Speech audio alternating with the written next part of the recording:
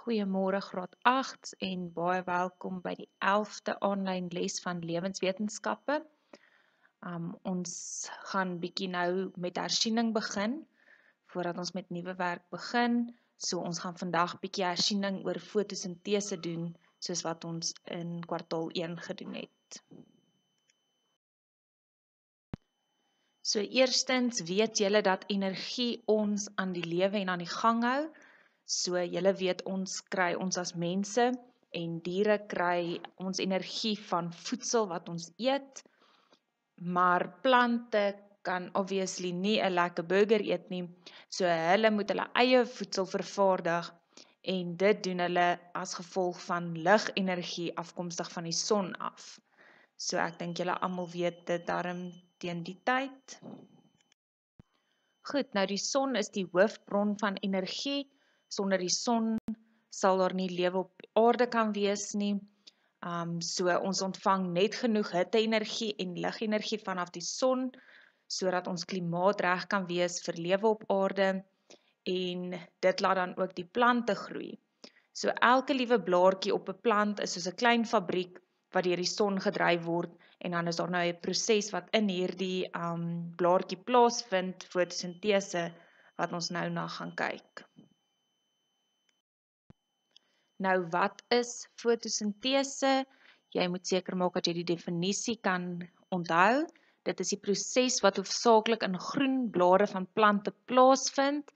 Die blare gebruik ligenergie van die son om dan voedsel vir die plant te vervaardig.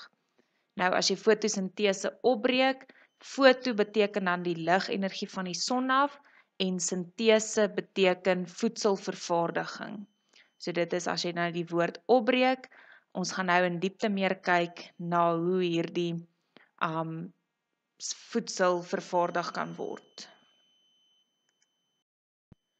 Nou ek het vir julle gesê die vergelyking van fotosintese is bitter bitter belangrik. So jy moet baie klem hierop lê en seker maak dat jy hierdie uit jou kop uit ken.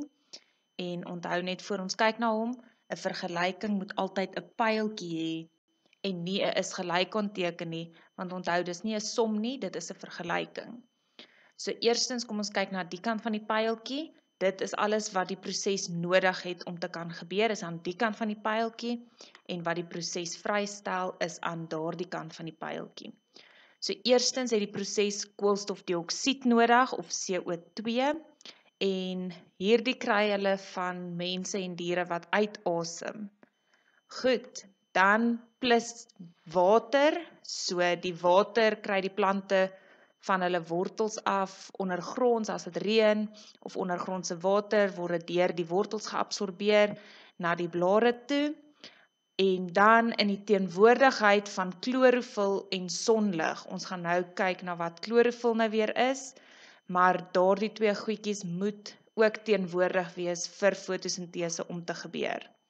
Nou as enige van hierdie vier komponente nie teenwoordig is nie, gaan die proses nie kan plaasvind nie.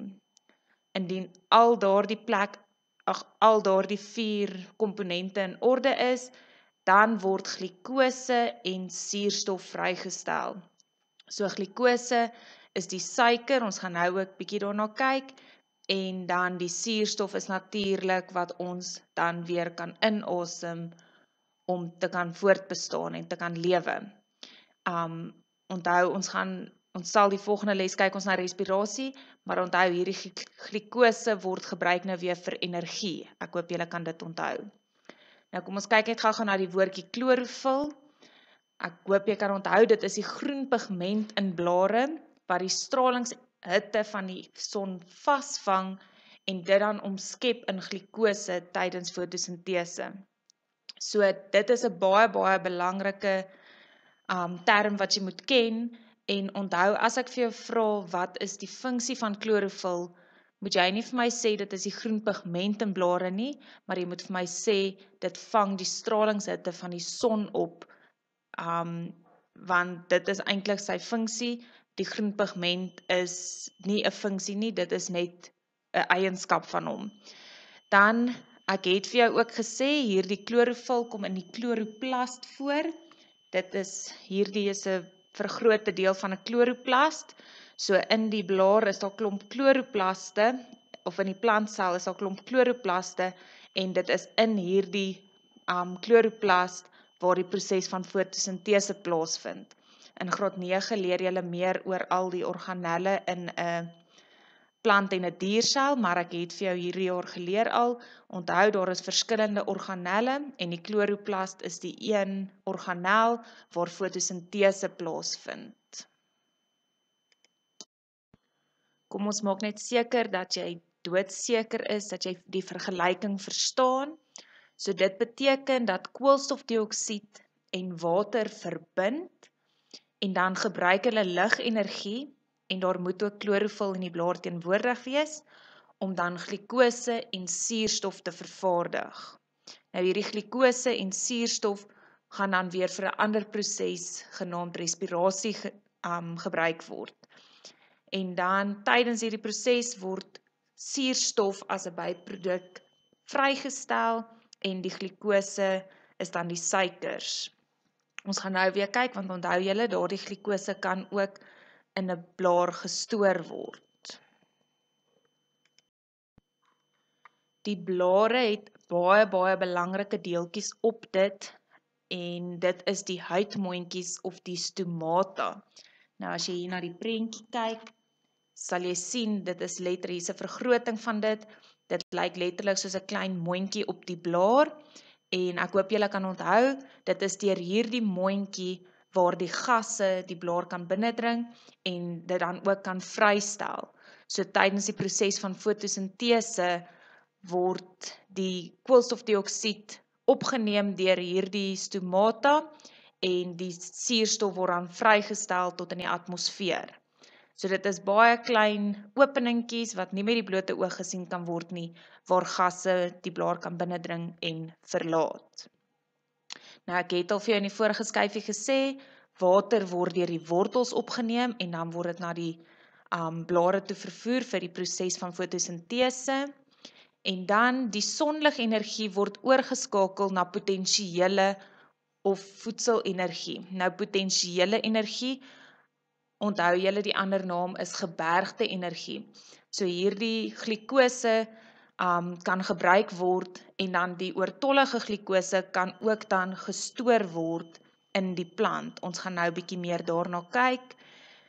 Julle weet nou al glikose is suiker wat omgeskakel kan word in energie en dan suurstof word dan as 'n byproduk tydens fotosintese vrygestel.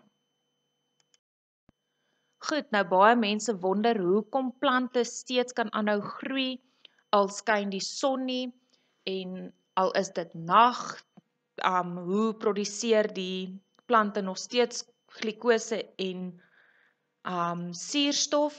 Nou dit is omdat die glikose wat nie gebruik word nie as stysel in die plant geberg word. So dit maak dan dat hy steeds kan fotosinteer al skyn die son nie. En dan 'n baie belangrike term is dat die plante ook die stysel in selulose kan omskep. Nou, ek hoop julle kan onthou, selulose, dit is 'n stof wat die selwande van plantselle vorm. Jy sal volgende jaar bietjie meer daarvan leer, maar dit is die buitekant van 'n plantsel en dit word vir die bou van strukture so stingels ook gebruik. So dit is 'n baie belangrike komponent, so jy moet asseblief weet dat um glikose as stysel geberg word, die oortollige glikose en dan um kan dit ook vir selulose of dit kan omgeskep word in selulose om die selwande van plantselle te vorm. Ek hoop julle almal kan nog onthou onthou hoe mooi ek teken. So hier is die prentjie weer wat jy net jy moes hierdie in jou boek afgeteken het in die begin van die jaar. Kom ons gaan net gou-gou weer daardeur. So dit is alles wat die plant nodig het. Hier is die son, hy het sonligenergie nodig. Hy het koolstofdioksied nodig wat van die mense en die diere afkomstig is wat uitasem en dan water wat deur die wortels geabsorbeer word na die blare toe. En dan moet daar klorofil in die blare teenwoordig wees. As daardie vier komponente almal teenwoordig is, dan kan suurstof vrygestel word as 'n byproduk en dit word weer deur die mense gebruik om asem te haal en die diere en dan ook glikose wat dan suiker is. As um die glikose wat nie vrygestel word nie word as stysel in die blare gestoor en dan kan die plant nog steeds fotosinteer al skyn die son nie. So dit vind in groen blare plaas van plante en dan daar is die vergelykingkie weer vir jou koolstofdioksied plus water in die teenwoordigheid van klorofil en sonlig en dan word glikose en suurstof vrygestel. Ek wil asseblief hê julle moet die vorige um klas se oefeningkie merk. Dit was oor die skadelike mikroorganismes. So hier is die antwoorde. Jy kan dit sommer self merk. Ek stuur dit ook op WhatsApp, so jy sal dit op jou foon ook kry. Ek weet daar is nog 'n paar memos wat ek moet deurstuur. Ek sal dit um op WhatsApp doen van tyd tot tyd. Hier gaan die memo net aan. So maak asseblief seker dat jy dit merk en dan ook nasorg doen met 'n potlood. So dit was die hersiening van fotosintese. Um ek hoop julle het 'n baie lekker dag verder. Julle het geen aktiwiteit om vandag te doen nie, so julle kan nou lekker gaan rus. Totsiens graad 8 en ons praat weer.